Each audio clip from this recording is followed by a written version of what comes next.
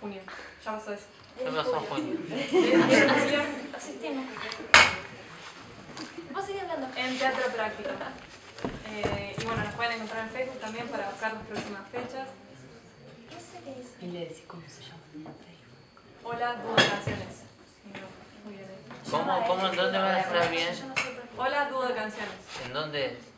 No, no, la No, no, pero ¿dónde vamos a tocar? En teatro práctico. 60 65, 3 y 4, el 10 de julio, viernes que viene, a las 21 horas. Va a estar muy lindo por venir. Está muy lindo. No, pero ¿qué pasó? Bueno, sí. Esta canción, nos despedimos, se llama Cumbia Surrealista.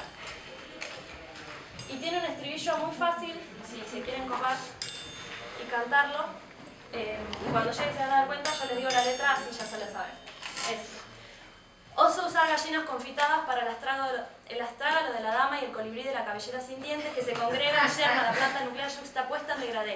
Cuatro cucharas son más que elocuentes para juntar arroz de palma. Hacia arriba y hacia el centro mismo del melo, del capaz, dromedarios de ríos y ruedas, berenjena tridimensional. Ese es el ¿Quedó? Ah.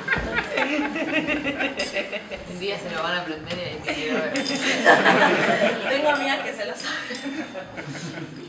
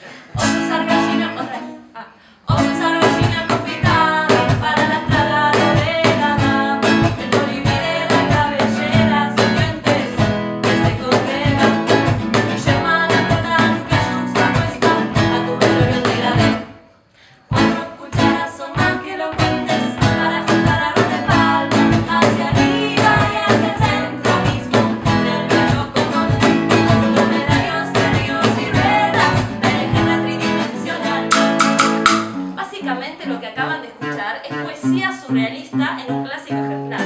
Si les queda alguna duda sobre esto, ¿por qué no nos fijamos lo que dice el manifiesto?